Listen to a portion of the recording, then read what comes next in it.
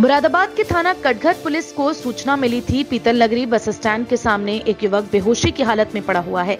सूचना मिलते ही एंबुलेंस के साथ पुलिस मौके पर पहुँची और युवक को इलाज के लिए जिला अस्पताल लाया गया। युवक के पास मौजूद कागजात से उसकी पहचान करते हुए सूचना उसके मौसेरे भाई राजकुमार को दी गई।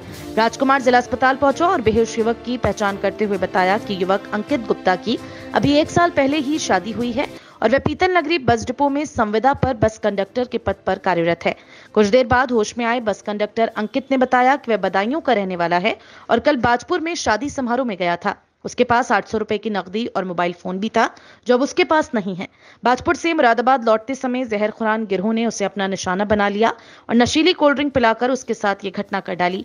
12 बजे तक बदायूं से बस कंडक्टर अंकित गुप्ता की बीवी, पिता और परिवार वाले जिला अस्पताल पहुँच गए थे। क्या नाम है इनका? इनका नाम अंकित गुप्ता। अंकित गुप्ता। क्या करते हैं? ये रोडवेज़ में कर्मचारी है, क्या कर्मचारी? कंडक्टरी। कंडक्टर है। सरकारी है संविदा? ये संविदा में है। संविदा में। कहाँ पर? ये पीतल नगरी के पास जो रोडवेज़ है वहाँ पर।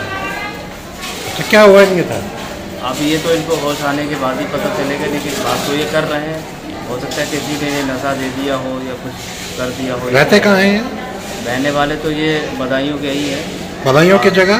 बदायूं कल्याण नगर में। कल्याण नगर। जी जी। अब ये सर्विस यहाँ करते हैं मुरादाबाद में कंडक्टरी में। ये रात ड्यूटी से आ रहे होंगे तो किसी ने कुछ सुंगा दिया है या कुछ कर दिया है। फैमिली कहाँ रहती है इनकी? फैमिली शादी हो गई? हाँ, शादी हो गई कहाँ रहते हैं बच्चे? ये बच्चे तो रहने वाले बदायूं के हैं। बच्चे वहीं रहते हैं? हाँ बच्चे नहीं अभी तो नई शादी अभी एक साल हुई है। आपका क्या नाम है? मेरा नाम राजकुमार गुप्ता आप क्या है इनके? मैं मौसेरा भाई हूँ।